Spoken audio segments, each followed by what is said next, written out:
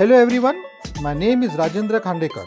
We welcome all of you to our YouTube channel KEET Classroom, the free online learning YouTube channel. In this video, we will learn division of decimal fractions. Let us take an example.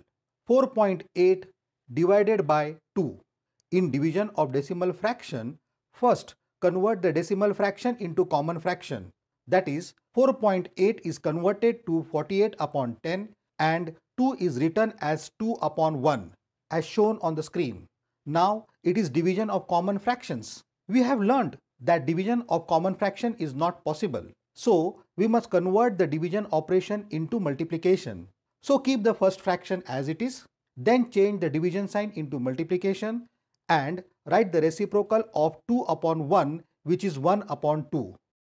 Now reduce the numerator 48 and denominator 2 that is 2 24 are 48 and 2 ones are 2.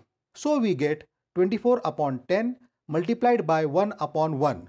Now it is multiplication of common fraction. So we get 24 into 1 upon 10 into 1 which on multiplication give 24 upon 10.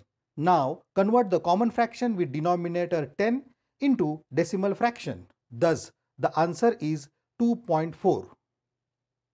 Thank you for watching the video. Please like, share and subscribe to our YouTube channel KEET Classroom. Also follow us on Facebook, Twitter and Instagram.